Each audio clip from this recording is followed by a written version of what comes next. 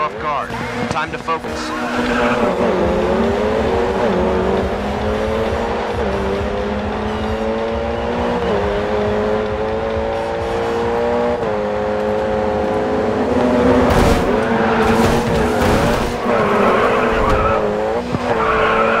You can gain that back. You need to pick it up after that mistake. know we've been at the back too long. Focus and take a position. We